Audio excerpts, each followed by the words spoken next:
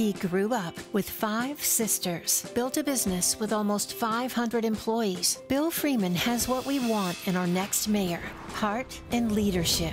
A leader who wants Nashville to grow the right way for all our neighborhoods. And Bill has a big heart. He'll solve the problems growth created for our families and our neighborhoods so we all benefit.